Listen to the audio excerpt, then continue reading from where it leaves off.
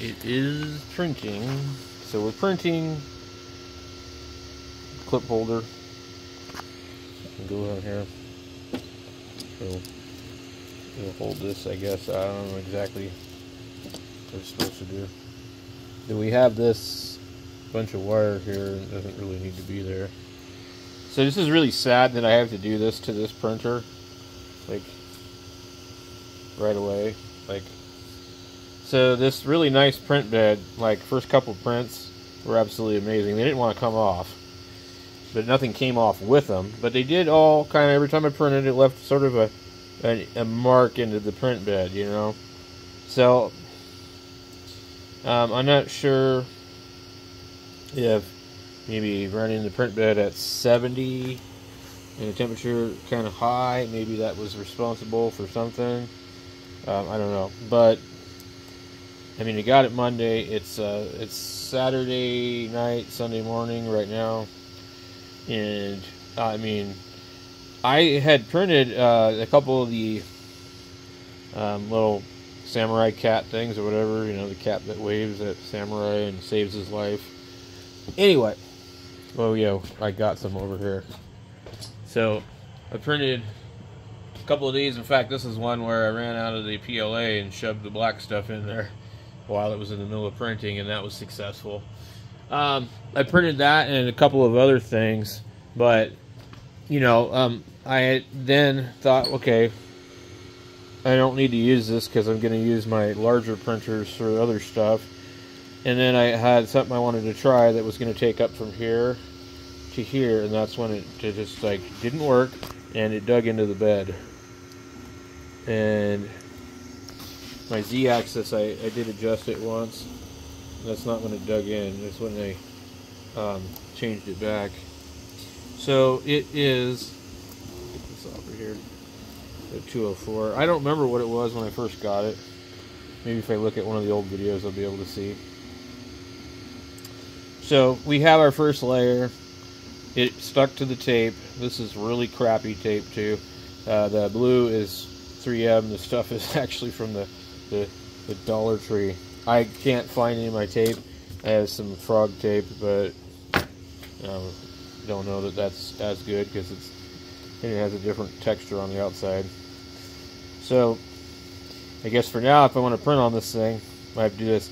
Now I did uh, successfully print uh, the Infinite Cube the other night. I printed two of them on here, and what I did was I actually um, printed with a raft. I I'm not sure why it's able to print a raft and then print on the raft. Um, but I guess, you know, it just, uh, the bed is messed up. So I might be printing uh, too slow here. Um, I'm not sure. I thought I maybe saw a little uh, damage over here on the print. Like heat damage. Kind of does look like it. Anyway, um, we'll see how this turns out. Um, I'm uh, I'm not sure. It looks. I guess it looks okay.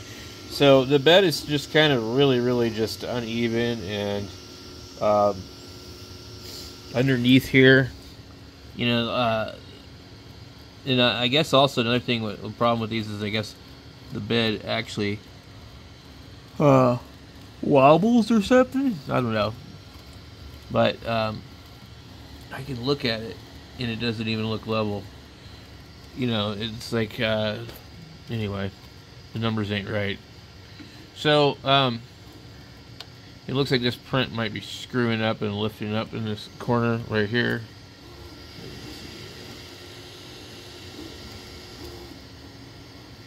It definitely is. So I wonder if maybe either the bed uh, temperature is too high or the print temperature is too high. Yeah, it's lifting up. That's not good. So this is going to be another failed print. You know, this isn't supposed to be this hard for a printer that's like seven days, under seven days old. You know, it's like five days old, I think. Six. So yeah, I think this print's gonna fail. Um, but what that's gonna do is just we'll wait a second and then we'll see what happens and then we'll we'll go back and Um, it wants to print it at something like 215 degrees, and uh, they don't recommend that on here. They uh, want uh, 230 to 250. So I'm within my temperature, but um, I don't think it's to work. I hate this print head because you you can't see a damn freaking thing. It's so huge. Yeah, sticking out. Damn it. Um, and it's not going to stick back down, I don't think. What's probably going to happen is it's going to catch on the deal and we go ahead and pause this thing. Let's see what it does. Oh man, this thing is so janky. It's slow as hell too. It's like, come on. Yeah, um,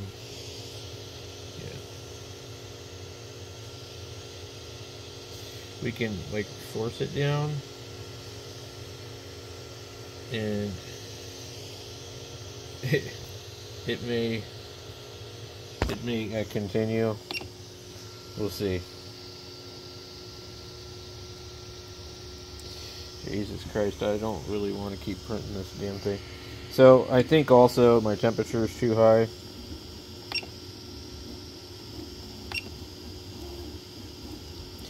Let's go down 235. This thing, because it leaves all this crap every time it parks somewhere. But I guess it's kind of normal. So, let's see how it does. Um, it's just to clip onto here, so it doesn't have to look pretty. I just, I'm tired of wasting filament. I'm going through quite a bit. I've, like, I've got three rolls and they all have like that much on them.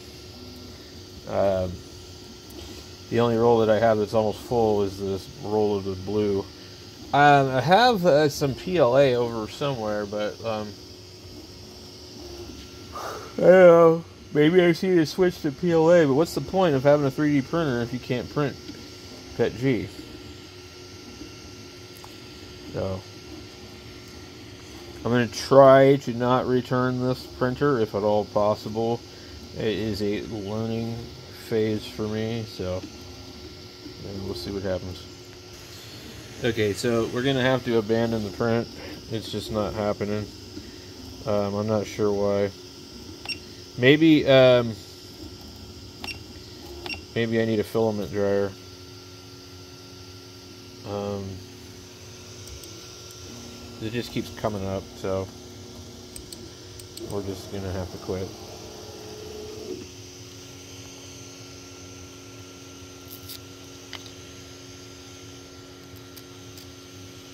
Oh well. What you gonna do, right?